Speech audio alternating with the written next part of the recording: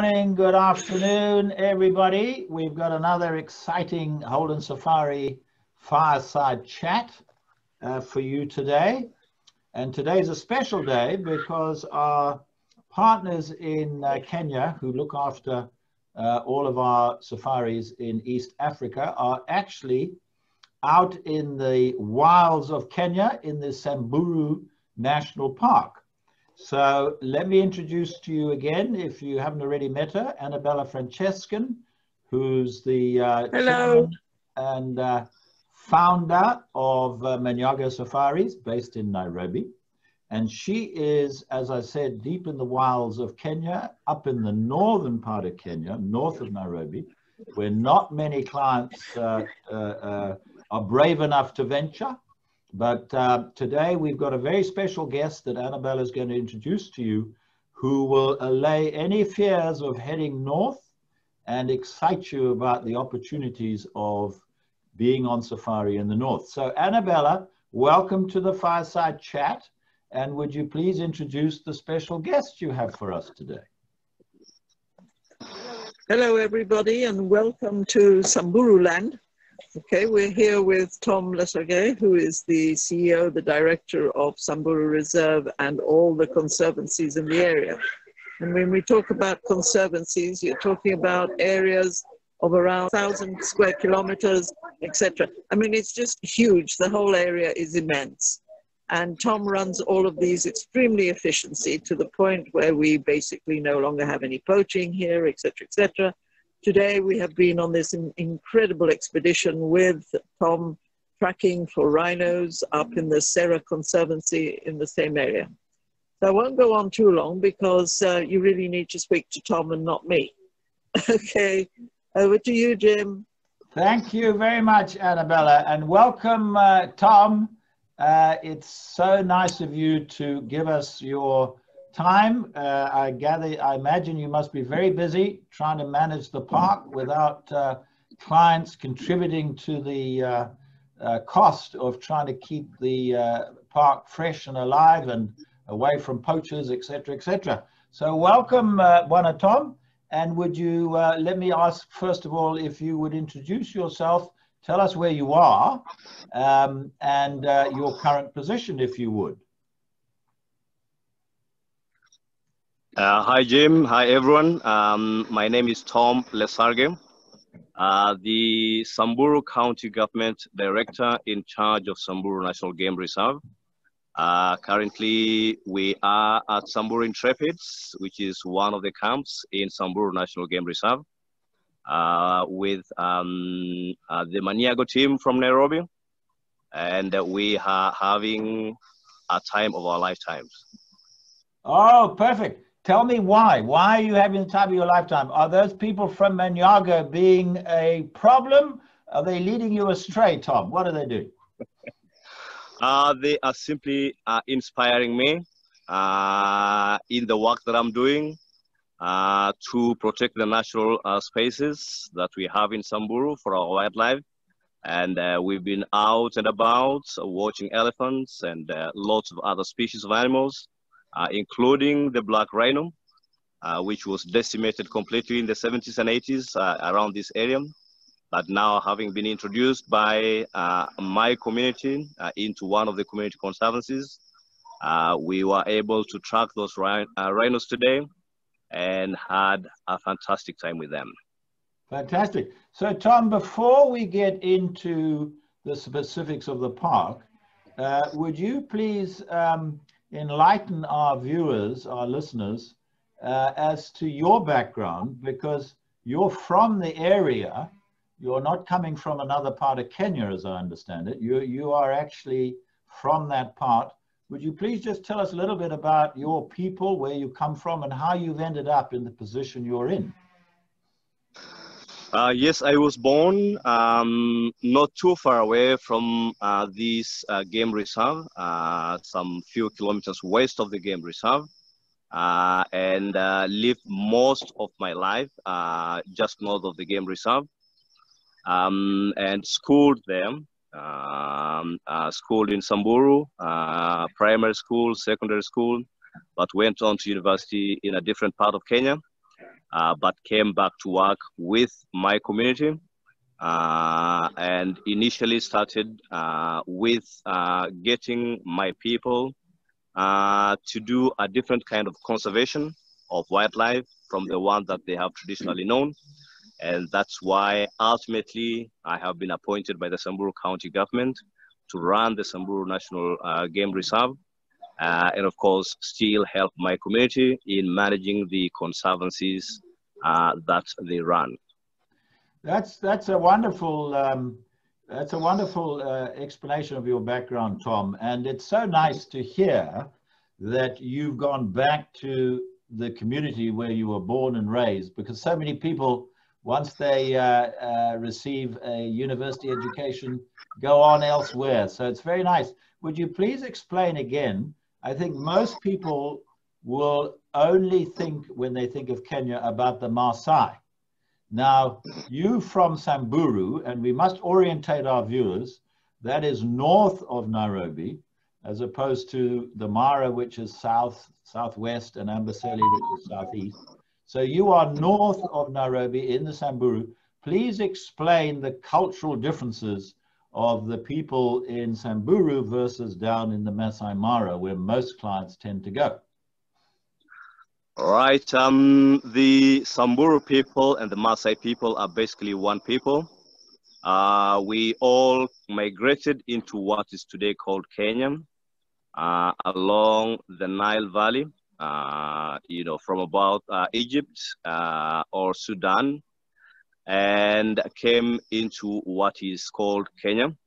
Uh, and due to a severe drought, we splintered into different groups and the Samburu tended to remain in the north, that's north of Mount Kenya, but the rest of the Maa groups migrated down to the south uh, into currently uh, southern um, Kenya uh, and up to central Tanzania. But basically, we are one people. We have the same language, the same cultural practices, uh, but we are simply um, separated uh, in space and time and that's why the Samburu are seen as a distinct group from the rest of the Maasai, but basically we are one people. That's very nice.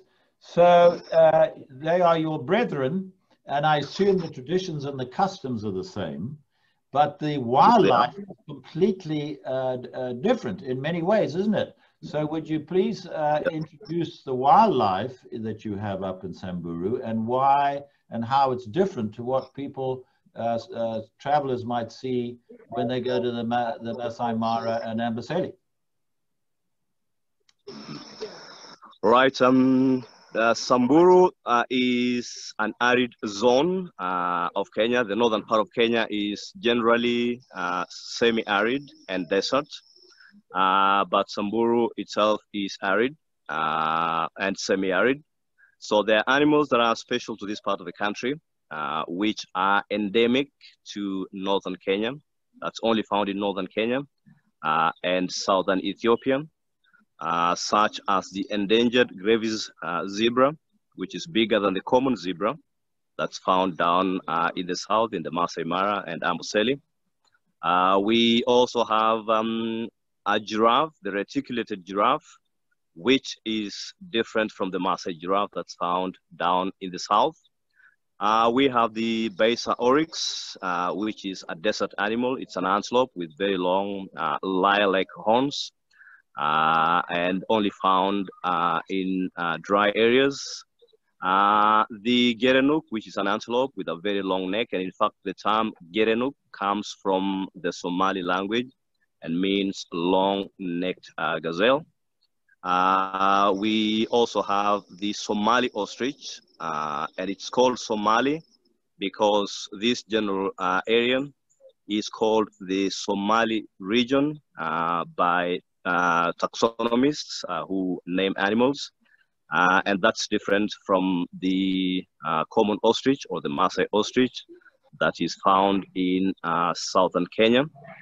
but we also have other animals that are found down in the south, like lion, leopard, cheetah, elephants, uh, buffaloes, and many others, uh, including the Nile crocodile in the Uaso Nyiro River, which is the lifeline of the reserve out here. Wow. So that sounds um, a lot for people to take in, uh, Tom, which is a nice way to lead into my next question. So uh, post-COVID, Tom, what we're what we're promoting here at Holden Safaris, uh, in partnership with Manyago Safaris, is what we call the Stay Longer, Dive Deeper Safari. And instead of trying to do the whole of Kenya in one safari in 10 days, two nights, two nights, two nights, what we're saying is you just stay, you just choose one area, you stay there maybe in two lodges, five nights, five nights.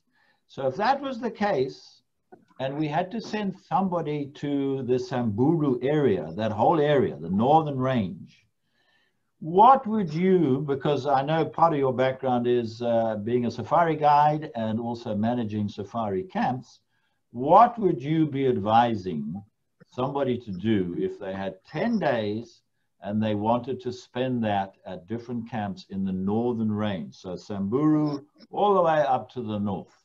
What would you recommend? What would they do and what would they see? And why should they do it? Right. Um, the first stop uh, out of Nairobi would be Samburu National Game Reserve uh, because it's uh, the southern boundary of the Samburu territory. Uh, so that would be a very a good introduction to Samburu. Uh, that's the largest Samburu. Uh, and of course, we have lots of wildlife in them. so lots of game drives to be done within the game reserve. Uh, but um, Samburu is not just uh, Samburu National Game Reserve. Um, I already mentioned that we have lots of community conservancies, uh, and uh, these community conservancies are home to lots of animals because uh, Samburu National Reserve put together with those uh, community conservancies is the larger ecosystem that all these animals use and uh, elephants move in and out, Grevy's zebra move in and out, and all other species of animals move in and out of Samburu National Game Reserve into the community conservancies, and from the community conservancies into um, the, um, the game reserve. Um, we have um, the uh, black rhino, uh, which was resident in Samburu in very big numbers but was decimated by poachers in the 70s and 80s. Uh, but of course, some few were rescued and taken to some safe havens uh, in other parts of the country. But um, we came together as the Samburu people and said the rhinos belong to us. They've always been here, and we want them back and want to take care of them. And in 2015, we introduced 10 rhino, that's one male, and um, um, um, uh, um, five um, um, males and uh, five females, and all the females have given birth. now we have 17 um, rhinos altogether in an area that we purposely fenced off to promote in situ conservation of black rhino. And it's not a small area considering that we are pastoral nomadic people who need lots of pasture for our people. Uh, we fenced off 107 square uh, kilometers uh, for the in situ management and conservation of black rhino. So uh, we do rhino tracking in uh, that uh, rhino sanctuary. And it's a fantastic thing to do that we did today with the Manyago team. you know, walking through the bushes and with the game rangers in them and tracking those rhinos and seeing them out in the wild and experiencing that on foot, not in a vehicle. Uh, so that is a whole day experience that somebody can take. Um, we also have um, issues to do with uh, elephants um, abandoning uh, babies uh, due to um, uh, poaching sometimes. Uh, sometimes babies fall into wells that uh, the pastoral nomadic people um, make. Uh, but the same pastoral nomadic people rescue those babies, and sometimes the mothers don't come back.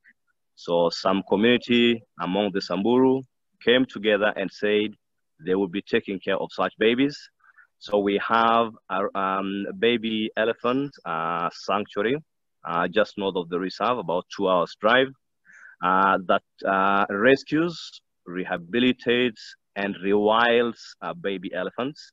Uh, and you know, our business really is to ensure that those babies uh, lead um, normal lives in the wild ultimately. And uh, it is a very big experience going out there to see the local keepers feed those baby elephants and take care of them, nurse them just like their mothers would do, uh, but of course in a human way. Uh, and um, it is a fantastic experience for every person that uh, stays here to go and uh, do. Uh, that's called the Reteti uh, Elephant Sanctuary, and it is definitely um, an experience. but uh, we also impart uh, that sense of responsibility of conservation in our young people. And uh, we engage our guests in going through schools and uh, hearing from the children themselves uh, what they think about conservation of wildlife because they are the future of wildlife conservation in this country and among the Samburu people. Uh, so that's another experience going out to local schools and learning about that. Uh, we have several uh, organizations that run um, um, research programs, uh, like research on elephants. Elephants, of course, are endangered. Uh, the Grevy's zebra is endangered, and we have people uh, running uh, programs on research. we have lions that are also endangered, and we have people who do that research. And we get those specialists to come out with guests and go out specifically to look at those specific species and impart that knowledge in the guests, you know, bring that uh, whole um, research uh, into life to those guests within the reserve and outside the reserve. Uh, our culture, of course, is also a very big aspect, and uh, the Samburu people are tenaciously clinging to their culture uh, against all odds of westernization and therefore uh, they lead their lives as they have always led for millennia. And therefore, it is a fantastic experience to go out, get uh, together with them. The women do what the women do, the men do what the men do. Uh, go out dancing with them, uh, you know, eat their food if you like, uh, and just get to learn something about the Samburu people because that culture is extremely rich and there's a lot that you can get uh, from the Samburu. Uh, there's a lot of wisdom in there. And personally, I'm a writer. Uh, I document the Samburu culture, and I've already written a book on proverbs of the Samburu, and that's pure um, uh, wisdom uh, that people from other cultures can come and learn. Uh, we have um, fantastic um, landscapes out here you know, towering hills. And we therefore also take people out uh, mountaineering on some hills, some uh, sacred uh, mountains. That is both an exercise and at the same time a cultural experience because the Samburu people believe that their supreme being resides in high places such as those mountains and do their sacrifices and prayers up there. And guests can partake in such uh, things or simply go up there and see what happens. And uh, there'll be uh, guides out there to bring that whole experience uh, to life. Uh, those who are daring uh, can go rock climbing on those mountains, you know, paragliding, and um, you know, uh, whatever kind of adventure that they would like to do out there. Goodness me, Tom. Uh, yes. So a, a, number of comments. First of all, the Samburu people are extraordinarily lucky to have you as their ambassador. I'm sold. Uh, I'm coming on the next Kenya Airways direct flight from New York to Nairobi, uh, jumping into the Manyago vehicle and driving immediately to Samburu. That sounds so fascinating. And 10 days is not enough. We've got to spend a month there to do all the things. Absolutely not. So that is very, go ahead, go ahead, Tom. Yeah, I mean, there, there is a lot that uh, you can do. Yes, and please uh, do come out here, and I'll be your personal guide. Wow, Tom, we're going to take you up on that. But I have a couple of follow-up questions. Uh, 1st mm -hmm. of mm-hmm. all, just a comment.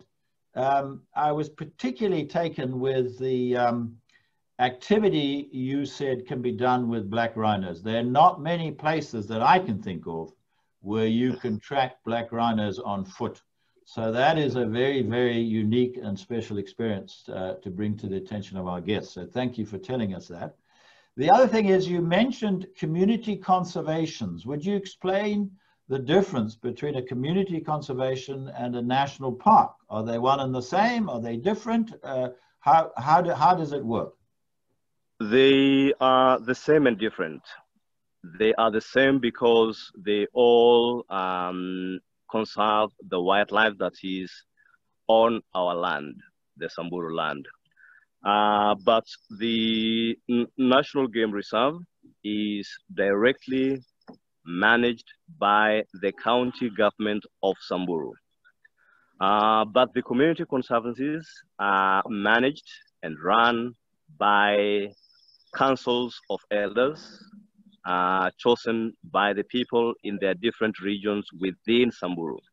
And therefore, they are the, the ones that run the affairs of those uh, uh, sanctuaries, uh, recruit uh, game rangers to take care of the wildlife, and therefore, all the revenue that comes from that, if there is any, goes directly to the community. And it is therefore the community elders that make decisions on what to do with that. Uh, but it is just a different way of conserving uh, wildlife because the Samburu have been always excellent conservationists.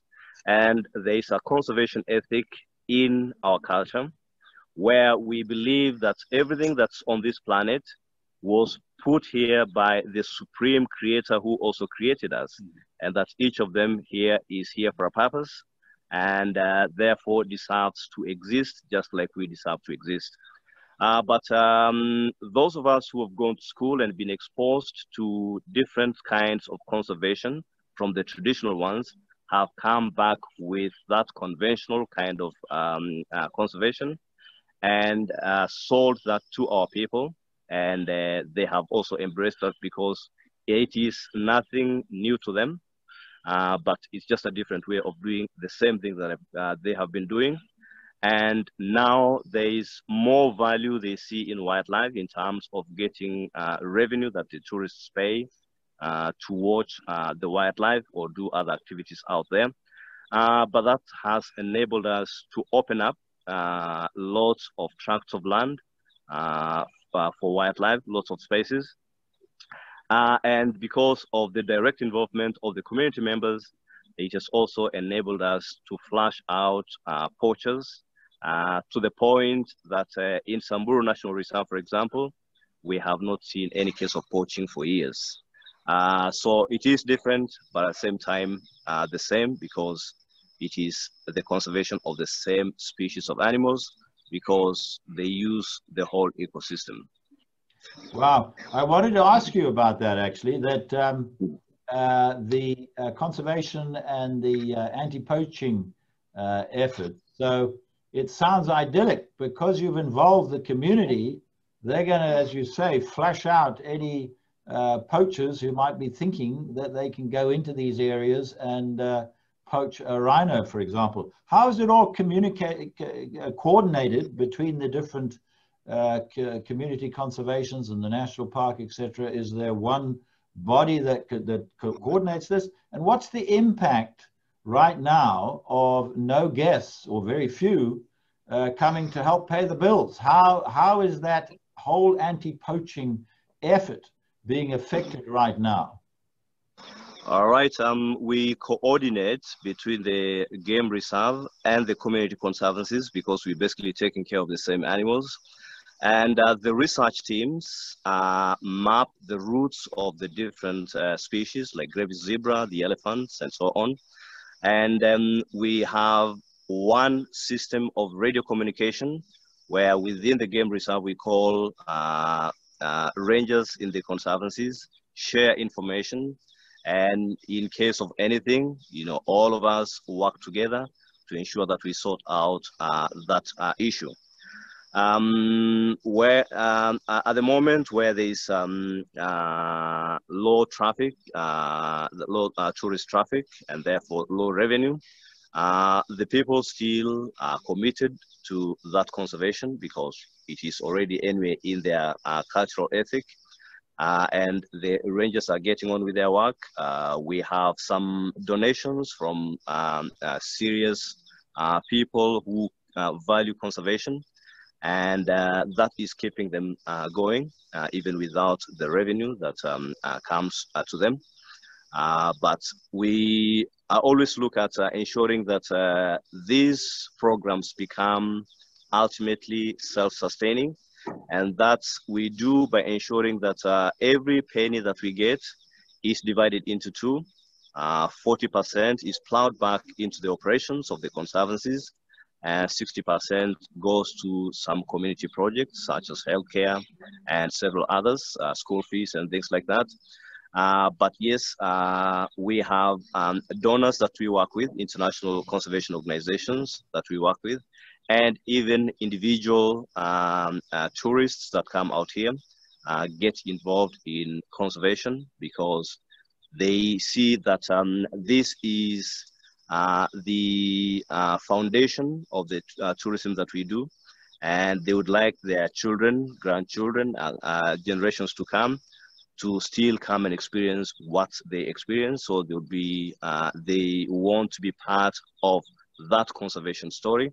And therefore, tourists that we've had for years still contribute to the conservation of uh, species out here, uh, just to keep that going. Right. That's very impressive, uh, Tom, I have to say, and congratulations to you and the community on uh, uh, setting up such a powerful organization to uh, combat uh, poaching. So uh, congratulations. I want to ask you. you. about um, the spiritual side of the Samburu.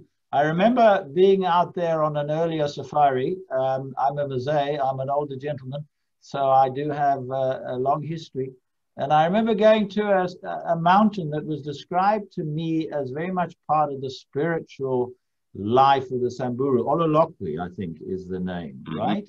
Yep. What mm-hmm. explain to us the significance of Ololokwe and the spirituality of the Samburu people? Who is who is the superior being for the Samburu people? All right. Um, yeah, the Samburu are very, very religious people, and they believe in a supreme being um, called Nkai.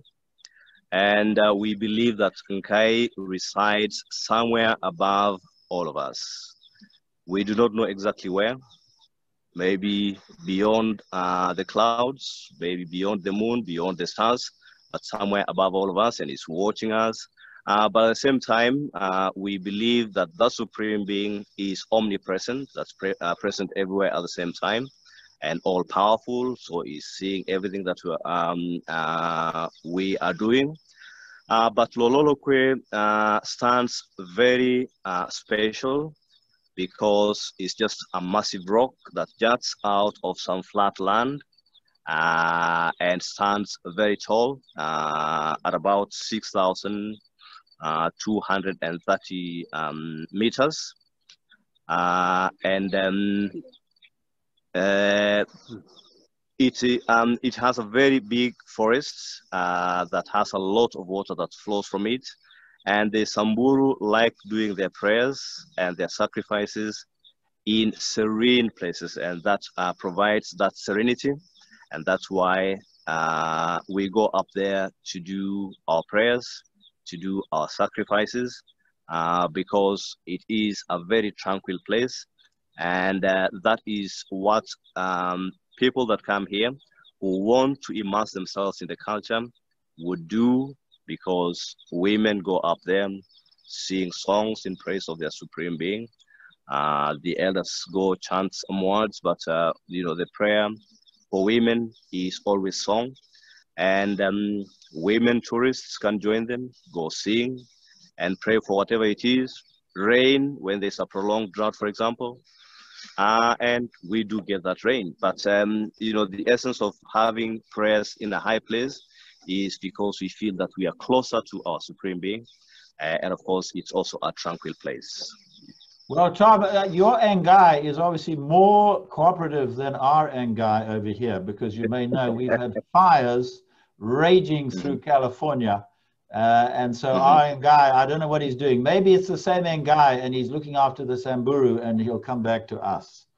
But uh, when you say it's a holy place and the ladies do their prayers singing, you remind me of another uh, very special and uh, unique activity up in Samburu, and that's the singing wells. Tell us a little bit about the singing wells. Is it possible to see them? Is it possible for for for for guests to see them? And uh, what are they singing? If we're allowed to know, are they praying?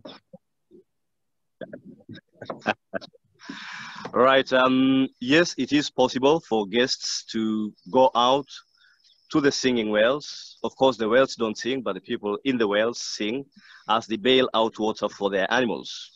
You know, a young man goes into a well and bails uh, out several buckets uh, of water into a trough for all his father's livestock. And uh, the singing is simply uh, serves two purposes. Uh, purpose number one is to entertain oneself, and purpose number two is to entertain the animals and entice them to drink comfortably. Uh, uh, so that, that's the reason why those men who go into wells to bail out for water for the animals uh, sing while they are in there. Wow. Uh, but it's also a prayer that, uh, you know, they pray to the Supreme Being that the water they give the animals uh, makes them healthy, that uh, after watering them, the grass that they are going to feed the animals uh, becomes uh, of sustenance to them uh, so that they can also get something in return, which is milk and every product that comes from their cattle. So wow. yes, it's possible to go and experience that. So thank you, Tom. So we're all the same, you know, people around the world. So American farmers here in the Midwest who have large herds of dairy cattle they've been known, these hardy backwoodsmen, to sing gentle songs to their cows so that they produce milk. So we're all the same, uh, Tom. It's a, it's a charming story, and I know guests would be uh, delighted to go and actually observe uh, a singing well. Now, all good things, Tom, unfortunately have to come to an end. Um, so before we wrap up, you mentioned your uh, book you wrote of uh, Samburu Proverbs. Uh, I'd love us to finish this conversation, uh, for which, again, thank you so much, uh, with a proverb, a suitable proverb, maybe one or two. Uh, so if you would please uh, recite a proverb, I don't know if you have your book with you or you've uh, committed them to memory, but please recite a proverb that is in keeping with the times. Know, I have a proverb that is suitable for all of us in the whole world uh, about the COVID problem that we are all experiencing. And uh, that proverb goes, Meata nalutu nemeish. That is, there is nothing that occurs that does not come to an end. So the COVID situation will come to an end. That's a, that's a lovely proverb. Uh, very nice, Tom, and uh, something for us to uh, remember. Uh, this too shall end. So um, uh, I think there's a similar expression uh, over here that uh, calamities don't last forever. Um, one last thing in the few minutes remaining, you touched on the fact that there's an elephant orphanage now run by the community, Reteti, I think you said it's called, up yep. north. Mm-hmm. This is very interesting because almost all our guests, as they go through Nairobi, visit the uh, Daphne Sheldrick uh, Elephant Orphanage in Nairobi. And to think, to think there's another one, because I remember uh, visiting the Daphne Sheldrick Orphanage, that many of the little baby elephants there came from the north. What you're now saying is they don't need to do that, and that the people, the Samburu people themselves, realize the importance of um, keeping their elephants to themselves so that they can share them in Samburu with visiting guests. Would you just enlarge on that as we close our conversation? Yes, um, it is um, the community that decided because we are getting droughts out here and uh, sometimes the mothers are too weak uh, to breastfeed their babies. Uh, you know, they end up ab- uh, abandoning the babies. You know, sometimes um, uh, a mother is too sick to um, keep uh, taking care of the baby. And uh, we've always sent all those babies uh, to Daphne Sheldrick, but the community decided that uh, they have the capacity to take care of these baby elephants. And one very interesting thing is that they decided unanimously that women are better at taking care of babies than men. So uh, even these baby elephants should be taken care of by women. And the majority of the keepers in Reteti Elephant Sanctuary are actually women. And they do a fantastic job. And as they give those baby elephants milk, they sing the songs that they sing to their cattle when they give them water. And those babies are really soothed by that and enjoy the milk that they are given. Uh, so it is purely uh, out of concern by the community that uh, they started uh, that uh, sanctuary to ensure that um, they uh, they take care of um, their baby elephants because it is their property, so to speak. And we are headed there tomorrow, and we're certainly going to enjoy ourselves there. Wow. Well, I think we can all attest, uh, Tom, and agree that uh, women make the best um, keepers and carers, if you like, um, uh, because of course they um, they're the ones that bring us all into the world, and uh, they have good practice in it. So can't disagree with that. So Tom, I want to thank you profusely for your time. You've been very generous with your time. I know it's late there in uh, you're north of the equator, so you're actually in the same half of the world yep. I'm in, with the equator running through Nairobi. Mm -hmm. But it's late there, I know. So I appreciate you giving us all this time. I want to uh, uh, thank uh, Manyago and Annabella, and uh, Peter is there, and Daniel is there from Manyago, who um, uh, uh, help us design our safaris and execute them and operate them so well. So we look forward to sending you more clients, more guests, Tom, to your part of Kenya. Thank you very much. And if we can just go back to Annabella, I don't know if she's still there if she's around uh, to sign off. If not, uh, we can simply say uh, good night. Is she there or? Yes, she's there. Okay, let's just say good night. Thank you, Tom. Okay, Bwana Jim, bye-bye. Asante oh, sana. There's, there's, there's Peter. He's the managing director of Manyago Safaris. Lovely. Thank you, Peter, for setting all this up with Annabella. Is thank, Annabella thank you, Jim, for everything. Thank you. There's Annabella. Annabella. Yeah. Yep. Bye bye, everybody. Just Jim, bye. Okay, Daniel, Daniel, Kwaheri, thank you all very pleasure, much. Pleasure, Thank you. Keep it up. Okay, bye. Bye bye. Thank you all very much. Kwaheri, asante sana.